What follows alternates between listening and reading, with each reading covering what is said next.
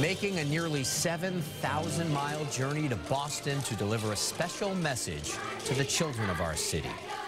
90 children from Kyoto, Japan came to the Children's Museum with toys and games. And as Juli McDonald shows us, it is a cultural crossover that is creating friendships a world away.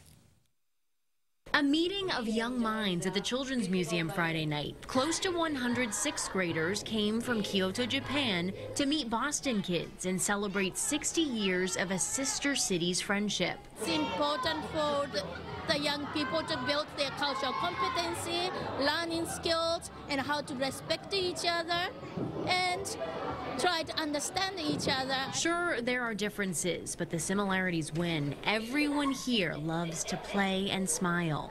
They have the best smiles here, not in the classroom.